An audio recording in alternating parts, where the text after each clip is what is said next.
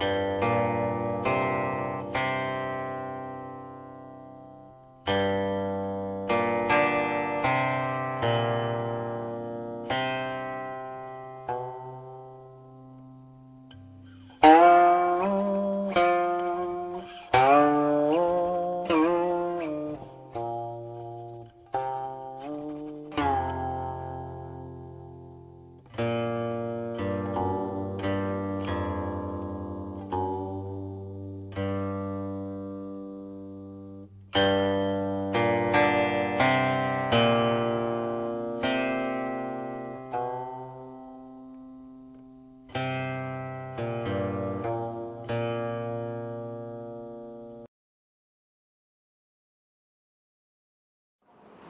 各位同学，我们上一节课给大家介绍了禅修的方法，因为禅修的方法非常之多，由于时间关系呢，我们没有全部介绍，其中介绍了数息观。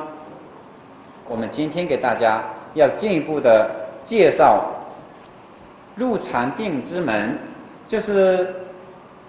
前面把这个方法告诉大家了，接下来呢，你按照方法去修，剩下的就是什么？就是我们的境界。就你通过这个修行方法，通过修行啊，不停的练习，不停的模仿，然后逐步逐步的，使我们这个散乱的心、烦恼的心得到调整。那么调整以后呢，我们的心境自然而然就会产生变化。这个变化。它有层次的，是循序渐进的啊，从浅入深，一步一步的来进入这个深入的这个禅定。那么我们一般的人呢，就是不从境界上说，只从心态上说，因为佛法的核心啊，还是围绕我们人，围绕我们众生。那么我们众生的根本还是在心上，所以一切佛法。都是从内心当中去印证，那么内心印证了以后，身体自然有反应。早期佛法告诉我们，他修法的这个证明要身证，就是亲身去证悟，亲身去证明、去体会，用这个身体去修行以后，然后你的心境开始变化，身体也同时开始变化。所以呢，今天给大家介绍的。这个入禅定之门是想告诉大家，在修行四禅八定，正式得到所谓的禅定之前，还有一些这个呃，就是禅定之前的一些境界。那么这个禅定之前的境界是什么样子的？跟我们平常的心态是不太一样的。平常的凡夫的心态是五趣杂居、杂乱无章。那你通过修整以后呢？开始心慢慢的调停了，这个调停的程度是从粗到浅啊，从粗到细，从浅入深，这样一步一步的调整。所以我们想，呃，学习这个永嘉大师的禅法，先从天台止观入门，就是想让大家知道，我们这颗散乱的心、烦恼的心，怎么去逐步逐步的提升到让自己身心不再动摇，不再烦恼痛苦。那这里有一个过程，这个过程呢，就是我们接下去从今天开始，大概讲这个呃味道定，还有初禅、二禅、三禅、四禅，乃至更高的四呃八定，呃每个境界一步一步如何提升？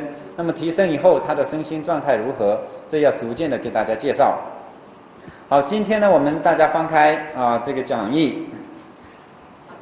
禅定是由梵文翻译过来，音译为禅挪，意思是静虑，就是是心定下来观察思维，所以也叫思维修。修禅定也叫思维修，也就是以所观的境，让我们的心专注这个境，不要散乱，这就是定。观呢，就是做种种的观想。所以用我们的意识，这个观是意识，第六意识，就是平常的妄想，我们平常的妄想呢是杂乱无章的，你没有把握的，今天想什么，等下想什么，是无序的状态。那你通过坐禅以后，你的这个思想、这个妄想，让它有有序起来，让它能够让自己可以管得住它。所以这个观啊，是让自己能够管得住它。管住了以后呢，先让它专注在某一个境上，让它习惯了以后，那么我们这颗心就会变得更听话。所以禅定的心实际上是很听话、很自然的心，不是像我们平常感觉很焦虑。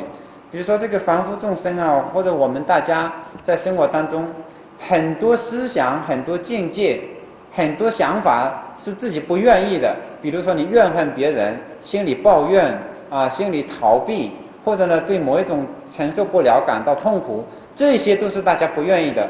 但是生活当中出现了，你就无能为力了。就是因为我们平常没有细细的去调试这颗心，所以这颗心随时会跑掉。那么坐禅呢，首先叫做观，把这个心能够提起来，然后止呢，就是停止在某一个境界上。这个境界很有关系。如果你这个境界停的不好，那么会引发你的更深的烦恼，比如说。呃，有个人他很贪心，然后呢，这个佛弟子啊就教他修这个因缘观，结果他越观越贪心，他觉得这个贪心好啊，越越贪越好。有个人呢，他这个内心当中有这个嗔恨心，嗔恨心很重，然后呢，这个佛弟子叫他修不净观，结果他一看到这个身心都是不净的，就更来火来气了，越观越嗔恨，所以法不对机啊，很难入定。那么如果我们方法得当了，就是有一个最简单的标准。你一坐下来，一修这个法，哎，感觉身心都比较舒服，比较自然。那这个时候呢，你就觉得哦，我的心开始回家了，开始回归，开始安住了，不再那么散乱，不再那么流浪了。这是一个对机的很好的这个呃验证。当有了这个观以后啊，说我们每一个人修任何禅定。一定离不了直和观，啊，你要专注在一个境界上，这是肯定的。如果不能专注在一个境界上，那么你就不能得定力，没有力量。如果你不能起观呢，那就是开不了智慧。所以佛法根本就是戒定慧三学。定力有了，你没有智慧的人，就是修止的人，不修观。我们一开始啊，大家可能。都会有一个误会哈，以为自己的就是很多修行人呢，他会先给自己假设一个一个一个境界给给自己去努力，比如说我要让自己不要打妄想，哎，让自己一停下来，强制自己让自己停下来。那么这种强制呢，是偏于止的这一方面。同时有些人呢，他想，哎呀，强制很麻烦，我不去强制他，哦，我。不管他想什么，我不管，我只要懂这些理论就好了。他去读书啊，去思考啊，像哲学家一样，他不停的去思考，他却没有定下来。所以佛经里面有一个比喻，就说这个灯光一样的，这个灯点在这里，蜡烛灯，如果这个灯它是左右摇晃的不定，那么它的光照到周围的景物上面都照不清楚，看不清楚的。那如果这个灯光是停在那里不动摇了。周围的环境就被它照照得很清楚，这是定有慧。那如果说这个这个灯它不是灯，它压根就是个木棍，呃，那就是就是修死定的人，他没有智慧，没有智慧，周围的一点也看不见了。所以我们大家要知道，这个佛法呢，要用来对照自己的身心。你升起对照这个力量，就是智慧。比如说，大家先静下来。你让自己静下来感受一下，哎，静下来的这个心，到底比那个杂乱的心是不是哪个更好？你自然就会选择哦，静下来这个更好。那这个选择就是智慧，智慧就是一种抉择的能力。我们平常在生活当中，很多时候，你看现在有些人，他喜欢这个求神问卦，对吧？算命，为什么？就是对自己的生活没有抉择的能力，你不知道该何去何从。如果你有智慧了。你观察到一切事物的前因后果，那你就没必要去求神问卦了，因为一切法都有因果，啊，好的自然来，你好的心态去接受；不好的来，你也以好的方法去解决，这就是最好的智慧。而且呢，心不会随他所动，啊，这就是修定力的很重要的一个前提。那么小乘佛法也是要定慧等持，大乘佛法更是要定慧等持。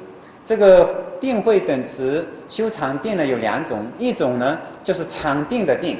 所谓禅定的定，就是我们有一个方法专注，比如说数息光，我们就专注在这里，让自己知道这个状态，硬让自己停在那里。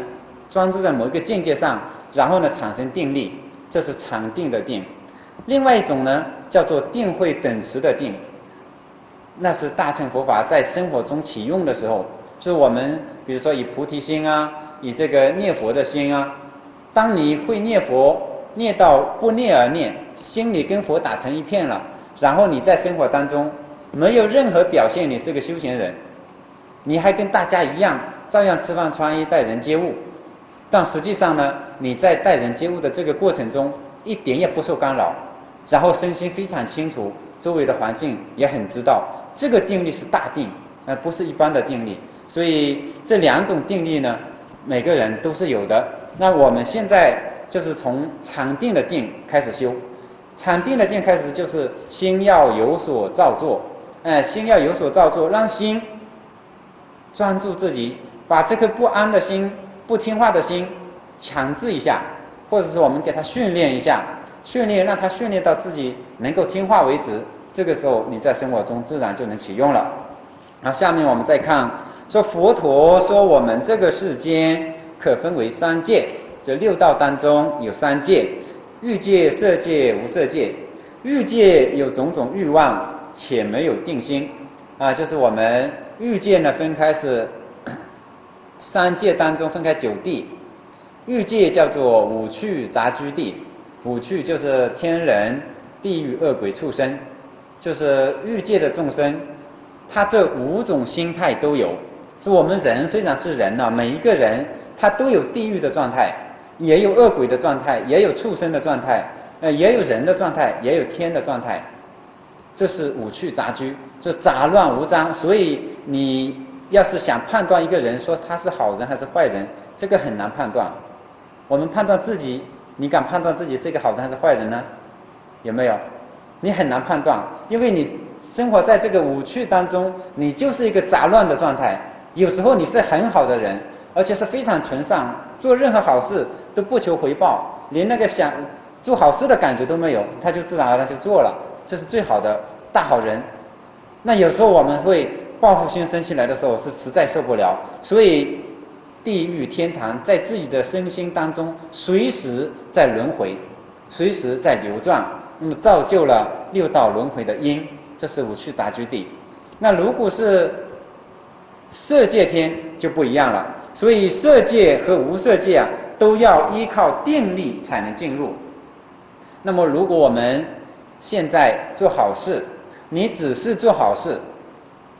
没有修行，没有禅定，没有定力，你死了以后呢？善报现前，也就升到欲界天。欲界只有六层天，它只能升到六六层天。那么第七层就是色界的初禅。色界初禅天，它必须要修禅定才能到那里。就是你修修善法，做好事，还要加上禅定，才能升到色界天去。色界总共有十八层天，分开四层。然后无色界还有四层天，所以总共三界是二十八层天。那我们大家现在呢，要在这个做好事、好人的这个基础上，要能够超越一下自我的生命状态，那就是要学习禅定，学习禅定。当然，这些四禅八定学好了以后，就算你都达到了这个标准了，也还是不能脱离三界的。这个我在这里要给大家啊讲清楚。那么有了这个色界的四场八定的基础以后，如果我们进一步学习大乘佛法，那就非常快，而且呢信心非常之足。现在我觉得讲大乘佛法，特别是呃净土宗或者是禅宗，我们讲念佛，它功德非常之大，可以直接了生死。但是有很多人他念了十年二十年，他觉得好像没什么进步，也有这样的人。有一个人他念佛念了十二年，每天念八个小时，他都跟我说，他说他没有进步。我就觉得很奇怪，为什么没有进步啊？用这个禅定的这些标准给他一衡量，他其实进步很大。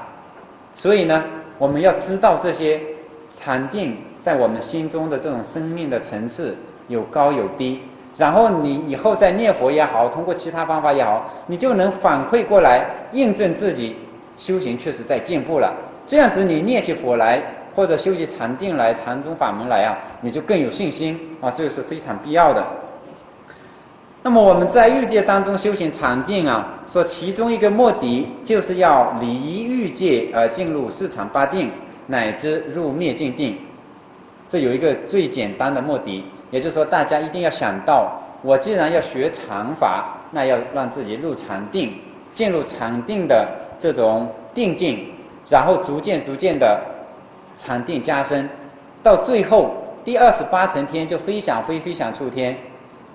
到那一层天以后，进入那个定境啊，我们要有觉观的这种生活，不住在禅定里面，马上出来，然后呢，继续往前走，修这个灭尽定，灭尽定修成就了，那就是脱离三界，解脱了。啊，这是我们要知道的一个基本上纵向的禅定的这个路子。我们现在讲正式的进入四场八定之前呢，说必须先休息。一些在欲界里的基本的定啊，这里面只能讲基本的定，也就是欲界定和未来禅啊，欲界的禅定和未来的禅定，未来禅啊，这在进入初禅之前有一个境界，这两种境界呢，我们都必须了解的。所以修欲界定，先要坐禅，在坐禅的过程中。我们可依心态的不同啊，分开几个步骤。就是上一次说的，告诉大家打坐属息的，这就称为坐禅。那实际上呢，其他的法门也可以，也可以进入四禅八定。那除了坐以外呢，行也可以，行路啊，说走路步行禅。如果能够步行的话，因为行住坐卧都是禅嘛，步行的话，那个方法也是很好的。就是你的注意力要观自己的脚底心。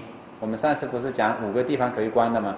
啊，你要是行的话呢，那就是观察到身体、环境，然后呢自己的呼吸、自己的心态，啊，这个条件都很清楚。然后呢，全身心去感受自己脚踩到地上的那个感觉，脚跟地接触的那个感觉。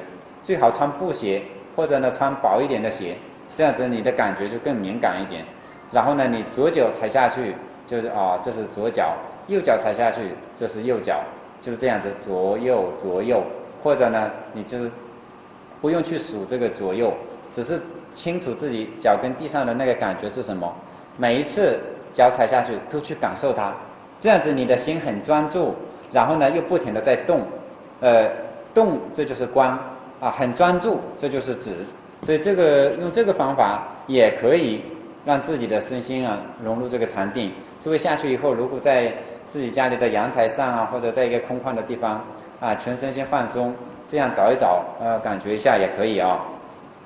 好，下面呢，我给大家啊，接下来介绍这个正式坐禅有受用以后的四种状态，这入禅定之前的四种状态。哎，我想问一下，你们下去到底有没有坐禅？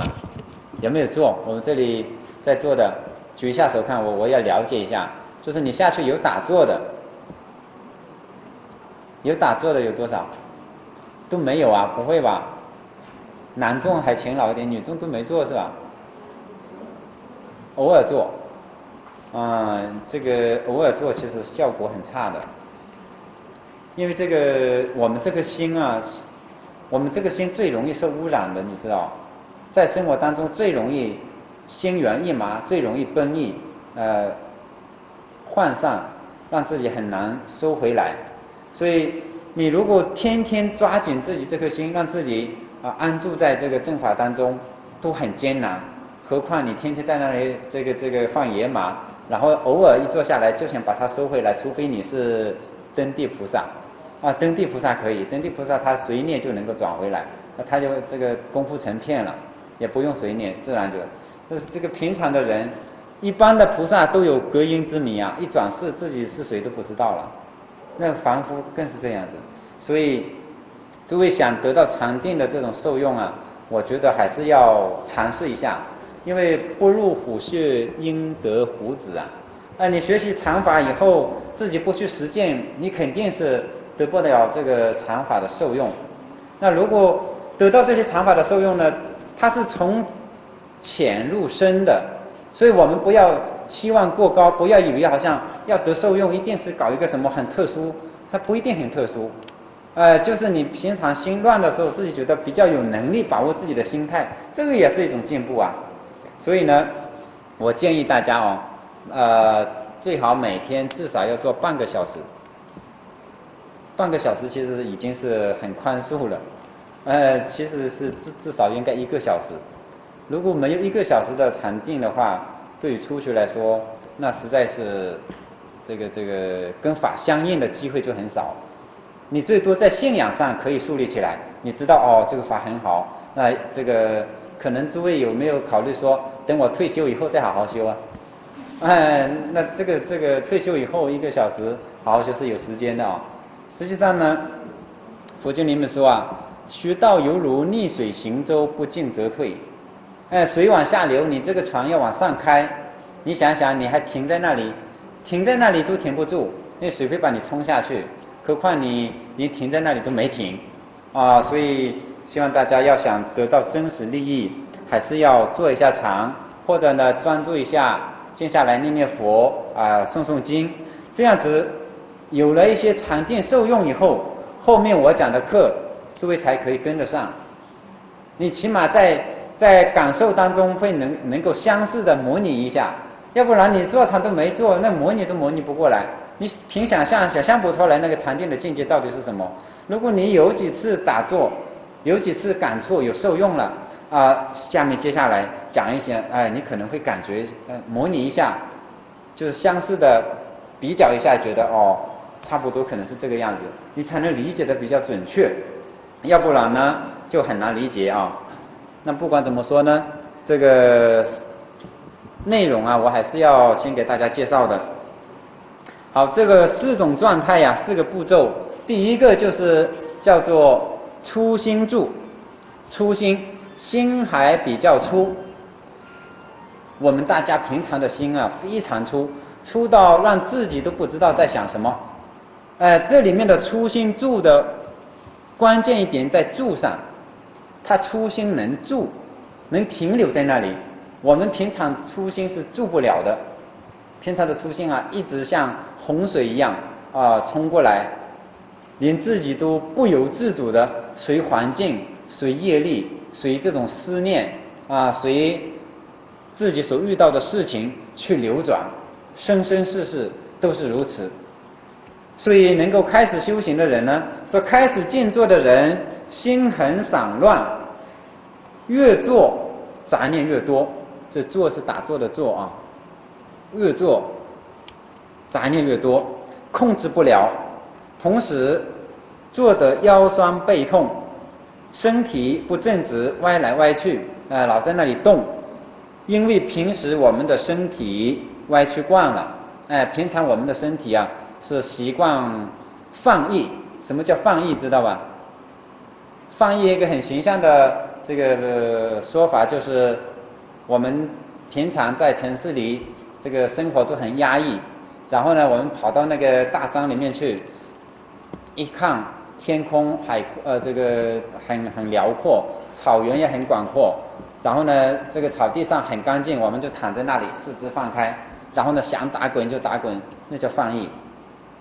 就是你非常自然，那像小孩子，这个家里的床铺刚刚铺好，一躺到床上去就东滚西跑的啊，在那里随便呃乱滚。我们平常就是放逸的心就是这样。你要感觉哪里好，你心马上往哪里钻，是不是这样？某个同学说今天有一件衣服很漂亮，马上就去看，哎，去看了再说，呃，哪个地方有好玩的、有热闹的，呃，赶紧就凑过去，这就是放逸。所以平常这个心非常放逸啊，很难控制，因为散乱惯了，那么有些人的身体不会歪斜，是因为他用精神去控制，把身体矫正，这就是什么？有心去照做，是用心啊去把身体呀摆正起来。那我们开始做禅的人都是这样，可能没有哪个说让自己很自然就做得很端正哦，都要让自己刻意。师傅说腰要正啊，胸不能停，然后呢手要坚硬不能动，腿痛了也不能也不能放下来，那老是强化自己。让自己这个心专注在这里，然后呼吸呢又不太通畅，我们得用什么数息观、不净观、慈悲观等等方法，使心呢定下来。所以一定要有个方法，才能让这个心啊有个地方专注。因为我们这个心真的像猴子一样，它必须要抓一个东西。最可怕就是这一点，有没有？我们在生活中。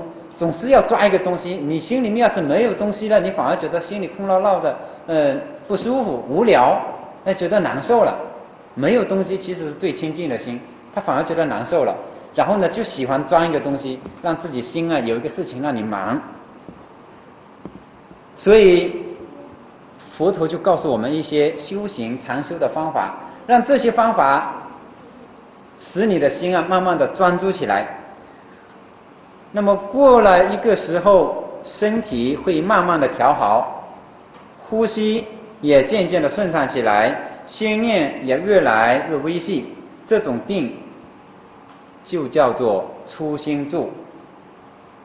那么初心住的特点呢是什么？说进入初心住以后啊，杂念减少了。然而杂念少并不等于定，只是不再胡思乱想而已。但是心念还在六根门头跑来跑去。你看，我们大家有没有这个感受？其实，一般你坐禅坐过几天的人呢，专注的、用心的做了几天，就会有这个感觉。就是你强制自己，好像强制一下还可以，过一会呢，他心又开始跑了，跑了，我们又把它收回来，又强制一下，那还可以。然后呢，在强制的过程中，如果你感受到了，哎，我终于定下一回。呃，这个感受到自己定了一回，那就是初心住了。如果你定了一回的感觉都没有，那你初心住还没有。所以第一个境界呢，就是三句话。第一个呢，是用精神意志去控制、矫正自己的身体，用心去照做，让自己的身做端正。第二个呢，要有一个方法，不进观或者其他的方法，一定要有个方法，让你的心有所专注。身体用心矫正了，心有所专注了，然后第三个特点就是感受到了自己哦，我终于定了一会儿，定下来了。你这个感受到定的那个就是初心住，因为你前面是用意用意识专注的，用意识去想的，呃，这样的定，我们大家每个人可能都有吧？有没有做禅过的人可能都有感受到啊？这是最肤浅、最最初步的，所以。本来我今天想直接讲这个呃出场的，后来一想啊，出场跟我们还是有一定距离，所以这中间的距离还是要给大家讲清楚啊。因此呢，我们又多了这一讲。那么平常的凡夫，平常的我们大家的这个心啊，就是散乱起来，你控制，平常就很少去控制它。其实一般的人谁去控制自己的身体的状态啊，对吧？除非你那个在那个呃宴会上，或者在舞蹈表演的时候，在要做某一种特定的呃环境节目的时候，你才让自己的身体有一个特定的这个这个表现。哎，我听说社会上有些有些有些植物啊，它也是定力很好的。那最好的是什么？我听过就是北京天安门呃站在国旗下面站岗的那个那个卫士啊，士兵啊。他在训练的时候要站十二个小时不能动，在练习的时候，就是眼睛也不能眨，啊一直要这么盯着看十二个小时。哎呀，我想想，我说这出家人、这修行人要是有这种精神啊，没有一个人不会得禅定的。啊，他们很厉害，我觉得真了不起。所以军人很厉害，他们定力啊是这样子专注，呃，也是专注出来。所以我们大家呢要花一些时间，让自己啊吃一点苦，呃。初步就是初心住，那么当初心住有受用以后，感觉自己定下来了，这个感受很重要啊。刚才说三个标准，因为社会上的人他在那里再训练训练半天，他没有觉得自己心定下来的感觉，除非他有方法，他是一个佛教徒，可能学过禅定，他就站在那里入定，那有可能。那如果不是这个人呢，他没有学过这个佛法的人呢，他肯定是在那里心可能不会感受到身心都很稳定下来的这个感觉。那么身心稳定下来的感觉要是没有，他就不是初心住，他只是让自己的身停在这里，哪怕心停在那里，他没有感受到那种定，那也不叫住。所以大家一定要记住啊，你坐禅的时候感觉自己心定下来了，哪怕是一分钟。或者两分钟，那这一分钟、两分钟就是你的初心住，就住住了。啊，有了这个住以后呢，我们就知道哦，住的时候感觉是不错的，只是平常我们住不住，怎么办呢？那要进一步的去实现这个住。那当你进一步的去努力以后，慢慢慢慢的就熟悉了、习惯了这个身体定的状态。比如说，有些人坐禅坐习惯了，一坐下来，他喜欢腿盘起来。哎，坐在那里纹丝不动，有很多学佛的居士啊，也是这样。他一见面的时候，他就坐在那里纹丝不动，问问题他也这么这么坐在那里问。那这就是他习惯这种这种感觉。那么当你习惯了以后，慢慢的就引导到第二个细心住。说细心住这个时候的心念已经是很微细啊，心念主要是心念啊，很微细，身体不必用心调整。自动平衡已经习惯了，哎，他习惯这个身体的这样一种状态，而且坐久也不疲倦，这就是所谓的持身法。持身法，这个佛经里面经常要讲到的，就呃有一个三昧，专门叫持身三昧，就是你一坐下来以后，身停住了，某一个状态停在那里以后呢，你好像不用力气去，它也不会倒。特别是有些修密宗的人接手印啊，那个手印举起来是要花力气的，对吧？哎，结果呢，你你入定了以后呢，你手想放下来也放不下来了，就是有一股气好像把你整个整个冰冻一样冻住了，啊，僵硬在那里了。但是它不是僵硬的感觉，就觉得非常自然，然后呢，身体没有任何的不舒服，那，反而非常舒服，很自然的就与这个定啊相应。所有有静坐经验的人，如果静坐半个钟头、一个钟头后，身体就很疲倦，啊，就有些人一开始打坐啊，做半个小时、一个小时以后，你没有禅定的感觉，是会很疲倦、很累的，那就是还没有进入初心住。你看，如果很累的还没有初心住，就是初心没有住。实际上，如果有住的感觉，他心心，因为人心啊，我发现呢。它有一个心的力量非常强，就是让你心流，如果感觉到愉快，感觉到心甘情愿的时候，他一切疲劳都没有掉了。那你正因为坐在那里不觉得愉快，没有感受到那种愉快，所以觉得累死了啊，在还愿或者在完成作业，这样子呢，呃，一呃这个这个呃心呢就会很累。那累呢，它就不是初心住。所以进入初心住以后。说再进入细心住的时时候啊，就从初心住再进入细心住了。这个时候呢，身体就自动的调整，而且坐久也不疲劳。如果继续坐长深入定的话，就能进入真正欲界的禅定。所以前面两种叫住，不叫定。为什么叫住呢？因为它。还是很不稳定的，很有暂时性，很有机遇性。所谓机遇性啊，就是说你是不能把握的，什么时候让自己粗心住，什么时候让自己细心住。你只有功夫越来越近，越来越近的时候，它偶然出现了，出现了这个状态呢，你感受一下，然后接下来呢，你你是不是继续在这里？他没有这个把握。哎，如果是定了，那就可以把握了。比如说你今天进入这个禅定，你明天想继续进入。那明天你可以从这条路继续进入，是这个住的话，因为粗心住和细心住都是我们自己没有体验过的，从一个散乱的心进入禅定之间的这样一个在心调试的这个过程，所以让我们的心啊变得呃调和一些，变得听话一些，没有那么多棱角，然后呢，慢慢慢我们就习惯于这种宁静。像上一次我说的，是我们有一个很怪的奇呃这个这个现象，就是我们大家心里都希望自己能够宁静，能够有智慧啊，能够明亮，对任何事情都能够了如指掌，然后呢，不要再那么乱。哎，静静的去感受我们的生活，感受我们生命的这种存在。然后事实上呢，我们又不习惯这种宁静，那这就是一个怪现象。所以呢，就需要粗心和细心这两种方法呀，两个阶段，慢慢的调整自己，让我们习惯这种宁静安住啊，习惯这种宁静安住。那么这两个地方的最根本的区别啊，粗心住和细心住的区别。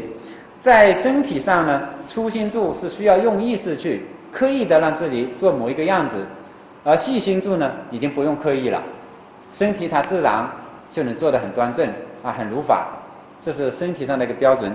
那么心理呢，粗心住，他在心里面一定要依靠一个方法，这个方法是必须依靠的。我要用心去专注这个方法，比如说数息观啊，或者念佛，一定要抓住这个符号，呃，抓住这个方法。你才能让自己感觉到心定下来了，而细心住呢，他不用刻意的去抓这个方法，他自然而然。换句话说，细心住的人，他修念佛也好，坐禅也好，还有这个呼呼吸也好，他没有太大的分别心了，他不会觉得我一定要修这个方法才能进入，因为他心细下来以后啊，他觉得任何一个法都能够让我安住，所以他的心就已经变得比较听话了。这是第二点。啊，第二点的这个区别，那根本上的区别。第三个呢，就是第三个区别就是初心住，他感觉到住在这里有住在这里的感觉，而细心住呢，能够感觉到住在这里的欢喜，微细的或者很微细的隐隐的感觉到快乐。那粗心住的人，他还没有那强那种快乐的感觉不明显，他只觉得哦，我终于先定下来了一下，然后呢，觉得定下来蛮好。那细心住的人呢，他已经能够在定下来的这个感觉当中，已经感觉到自己的生命有一种快乐，或者有一种法喜，呃，比较微细的法喜升起来了。这三点就是他们两个呃粗心和细心的区别。那么有了细心住以后，再进入欲界定，这就成为必然。就细心住以后啊，他有了这样一种法喜升起来，那平常在生活当中。就形成一个鲜明的对比，比如说，呃，生活当中的快乐，啊，追求外在物质的快乐，和我们吃到东西、穿到东西的这种快乐。我们有时候拿到一件衣服，觉得衣服这个手感、布料好一点，穿在身上觉得舒服，啊，看看镜子觉得蛮漂亮，好像有一种快乐。那跟这个细心住的这种快乐比起来呀，那是相差太大了。那个快乐可能一下子就过去了。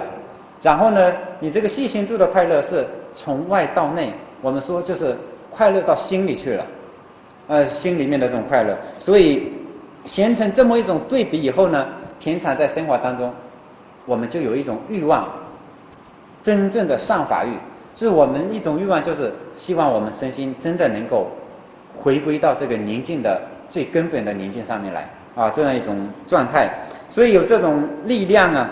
我们前面说的欲、念、静啊、会、定，那个无法，就在这个时候，它会起作用，它会让自己觉得哦，我希望这样子禅定更加快乐一点啊，更加微细一点。那么通过这些努力以后呢，就进入了欲界定。说第三欲界定，平时我们要用心将妄念捉回来。啊，要用心把妄念捉回来，就是初心住的时候要必须用心。进入欲界定后，不必加以控制，哎，心不必要控制了，妄念也不会升起，妄想啊不会随时的冒出来，而且心念自动平稳，哎，心也自然的非常平静，不必用力去调整它，啊，没有必要用力去调整它。此时心任运不动，任运不动，进入这种定后，就能够整天坐禅。哎，你欲界定得了以后，整天坐禅，心里呀也会平，非常的安详。所以以上三种定还不能称为真正的禅定，只能称为普通的定，因为这三种定呢，可能很多人啊，只要做禅或者练气功的人都会得到的。练气功的人，他如果懂得一些佛法的道理，感觉自己心很安住了啊，然后呢，觉得一天到晚在住在这种状态当中。练太极拳的人，有些人也会这种感觉。如果真正懂得这个啊练拳的这个内在精神的话，所以欲界定呢，实际上跟前面的差别啊，就是一句话：此时心任运不动。在前面的基础上，就是身体不用刻意的让自己说啊一定要做个什么样子，他就自然而然做的端正了。然后心呢，也不用刻意的。让自己说要修一个什么法，但是他一般来说都要有一个法的，因为这个数息法，它可以一直修到第四场都可以，修了第四场，那四场就没有了，四场就没有这个熟悉，就是修到第三场应该说，修三场以后再专注的话，它可以进入第四场，是这样。那么在这种用方法的上面，他可以选择一个法门专注，但他没有太多的挑剔，因为心比较听话了。那么在这种状态下呢？更进一步的，他的心叫做什么？任运不动。这个任运啊，很厉害。就是，比如说我坐在这里，啊，数息正在熟悉的时候，有人找我了，哎，有人找我了怎么办呢？我可能就要下来去跟他说话去了。跟他说完话以后，我继续做，心里面没有动摇。这个这个还是欲界定，还不是真正的禅定。所以我们平常很豁达的人，你有一些定力的人，可能。只要提起觉照，就要要提起观照，因为叫止观啊。你一定要提起观照，没有观照的那些都不叫定。如果你坐在那里，你坐在那一下子觉得哦，一天坐下来了，自己脑袋里面不知道，这个呢还不叫欲界定。欲界定是自己脑袋清清楚楚，很清楚，而且呢身体的感受、心的感受都非常清楚。在这种状态下，他进入了这个定，所以叫任运不动。呃，你心里想想要出去一下，想干一点活啊，或者你坐在那里坐着坐着啊，心里很平静。但一般的情况下，它不会自动的升起动摇。比如说，明明没事的坐在这里坐着坐，哎，突然想个事情想看书了，跑去看书，那不会的。他一般坐在这里这段时间，自己不会无事生事，但是环境上，比如说这个呃孩子在那里闹起来了，哎，你可能自然而然就对孩子说两句话。哎，他心里也不会动摇。你看这个第三种欲界定啊，就比这个细心住要更进一步了，更进一步。那么在这样的一个情况下呢，要经过比较长的时间锻炼，因为欲界定如果说它是呃像石火电光一样，或者一天啊，今天坐在这里是这样子。明天不能这样子，那这个还不是坚固的，只是偶尔，还算是偶尔。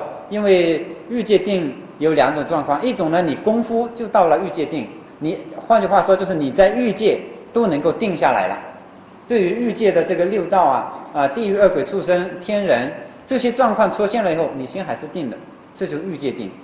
那另外一个呢，偶尔的状况是什么？就是你坐在那里的时候，由于你前面有粗心住、细心住这样一层一层的。这个功夫啊，然后坐在那里的时候是定下来了，然后你一起坐以后呢又不行了，一出来以后又不行了。那么这个状况，想进到这个初禅、二禅还是有点困难，啊，也是有点困难的。那如果你在这个坐上功夫能够成片的话，就是说你每次一坐上来都能够达到这个欲界定，然后呢就把坐上的这个定境的这个状态转移到坐下。就是下坐以后，你要扫地呀，要干活呀，你就让自己的心啊，你看看任运不动。你们可以把这四个字啊啊画一下，因为这是欲界殿的一个特点呢。任运就是任何运动，任何事情出现了，哎，他心里还可以不动。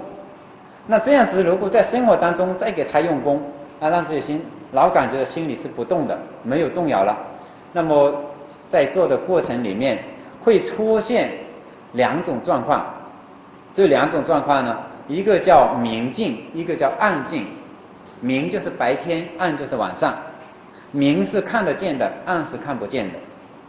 这两种状况出现，有些人有这个呃，就是没有没有教理的基础的人呢，明镜暗镜出现了，他自己不知道。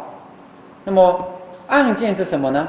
就是你坐在那里，感觉任运不动，一坐，本来是想做一个小时的，我这个小时没事情，对吧？结果一坐坐了一天了，自己也不知道，这叫暗静。就像我们睡着了没有梦一样。你说睡着了没有梦？你睡多长时间自己知道不知道？不知道。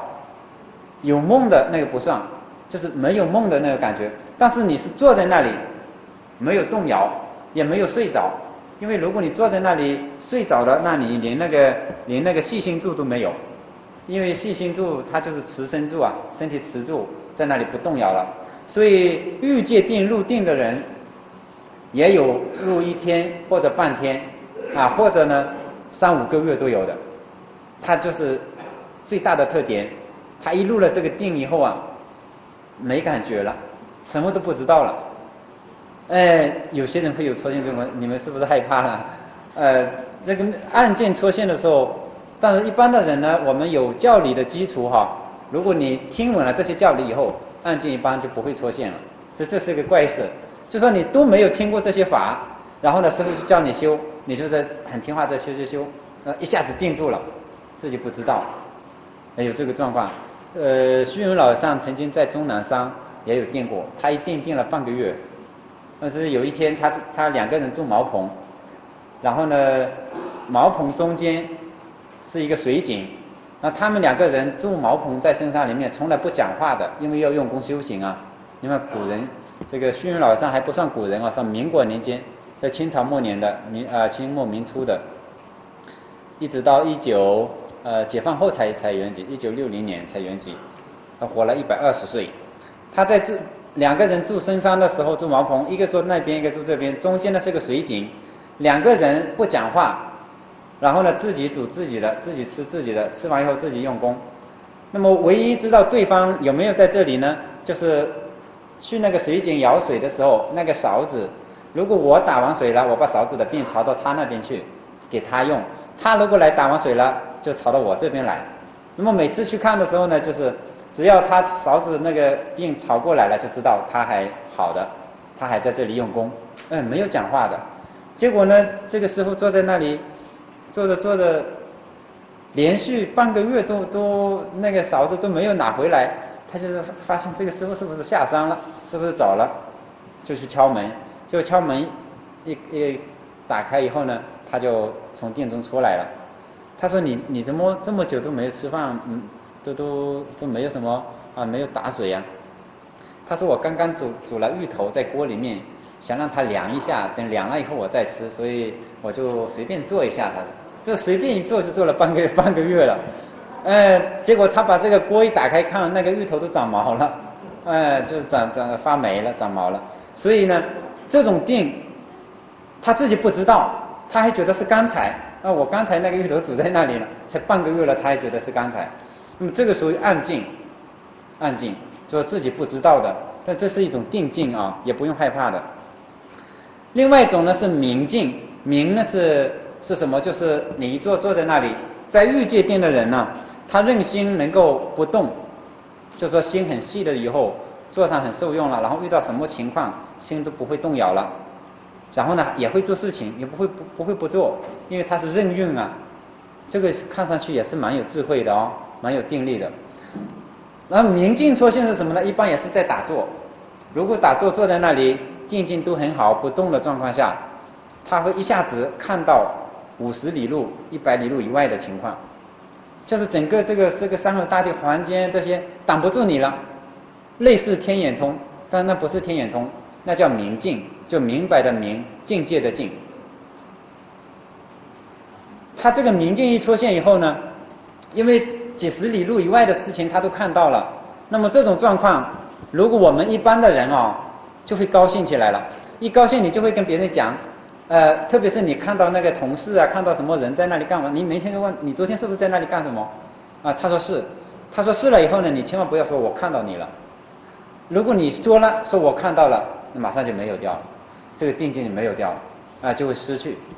如果你不说，那这个定境呢，可能半年啊两年，它一直会在这个在定境当中会出现。你可以看见别人，这千万不能跟别人说，一说就没有掉了。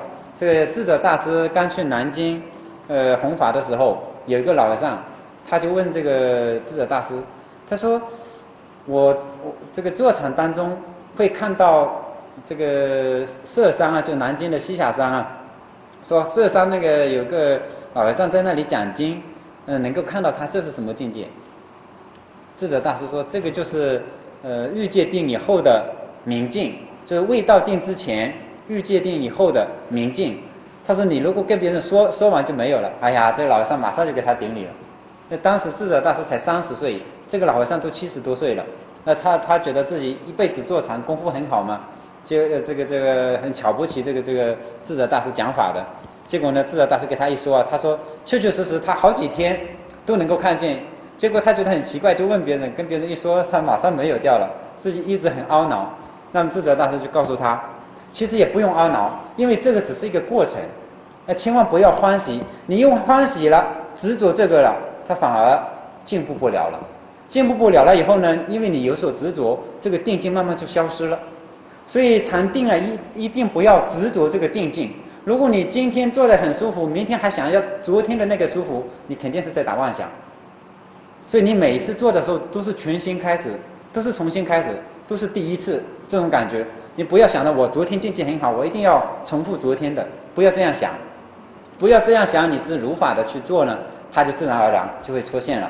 所以明镜出现的时候，我们可以继续按照禅定的方法，比如说让心安住，啊安住在这里，或者你装修这个法，继续修这个法，那这样子呢，功夫成片了，就是说坐上坐下，甚至是生病的时候啊。然后呢，睡梦当中啊，你都能关照，都能入定，那这个境界就越来越高。那么到后来呢，就是未这个未到定之前的明镜和暗镜出现了。你如果再进一步的用功，明镜暗镜全部在心中没有没有这个影响。所谓没有影响，用一个简单的比喻就是。不知道恰当不恰当啊？我觉得就像那个汽车的挂档啊，呃，一个是倒车档，一个是是是进车档，但是零档呢是不对，不倒也不进，零档，就是把这个禅定的这些境界，不管是明镜还是暗镜，从定境当中全部给它放下，全部都不要了。这个时候脑袋出现一片空白，哎，坐在上面一坐上面一片空白，什么也也不想，什么也不知道。那么这个境界呢，它是很很短暂的，很短暂。这个就是夹在欲界的跟色界之间的，就是出禅之前、欲界定之后的这个中间，中间的这禅定，这就是第四个未来禅，未来禅。所以未来禅的境界是什么呢？说进入欲界定以后，继续修下去，到了某个时候，某个时候应该。详细的说，就是明镜和暗镜出现之后，因为明镜暗镜没有出现呢，一般的人定都是在欲界定。那你欲界定坐上坐的很舒服，下来又能任运的，这个已经很不错了。所以一般的人都定在欲界定。明镜暗镜出现以后，就忽然间你感觉感觉到啊，失去身体的感受，嗯，看不到欲界的身体。感觉到整个身心不见掉了，哎，整个身和心都不见了，就是空档了，空白了，心也空白掉了，身也空白掉了，你修行的那个方法也空白掉了。这种感受是在静坐时发生的，而不是打开眼睛来看。哎，不是说你眼睛睁开，这个世界就没有掉了，不是。你坐在的时候，眼睛闭着，哎，那内心的那种感受。因为开始的这个呃细心住，你感觉到微细的快乐，那么欲界定呢，也能感受到自己心很安，非常的安详，呃，能够任运不动，呃，不需要调整就能够很安然的、很自然的安住。那么这个就是有很强烈的我和心，我的心啊这个感觉在。那么到了这个未到定呢，未来场呢，它实际上是。这个身心的感觉一下子全部没有掉了，一片空白，啊，用一片空白来形容，或者说一片空寂，啊，这一片空寂来形容更好一点。所以有了这种感觉以后啊，身体不会因失调而生病，哎，这种这个味道定的人呢，他身体生病的情况频率啊就比较低。因此，一个坐禅的人若要身体没病，至少要达到这第四步。也就是进入了未来场。那么有些人静坐的时候呢，心无所知的昏昏沉沉，啊，有些人在昏沉，他以为自己的身体不见了，这不叫未来场。哎，坐在那里像睡着一样，坐在那里也会瞌睡的。有些人瞌睡本是好的，身体也不用不一定是歪下去，或者头稍微点一点就睡着了。哎，这样这是瞌睡啊。它跟这个禅定的感觉。最大的区别就是禅定的感觉有光，指光啊，它有光就是有觉照。呃，如果睡着了，自己就是迷迷糊糊不知道了。就是那个呃，未掉到定之前的暗静啊，我说暗静啊，他进入这个定以后，他自己也是很清楚的，住在那里，只是那个时间怎么过去他不知道，啊，一下子就过去了，啊，是这样的一个状态，就是自己不知道，但是脑脑袋里面一直还是感觉，比如说你。有些人念佛啊，也会这样，念佛晚上躺下去，吉祥物躺在那里，阿弥陀佛，阿弥陀佛。哎，你感觉才念不到十句阿弥陀佛，天就亮了。这个很奇怪，你感觉很清楚，就是没有念那么多佛嘛，但是脑袋就是很清楚，这个这个天就已经亮了。这个时间怎么怎么怎么过去是不知道的，所以这个时间的观念，我是我们的一个错觉啊。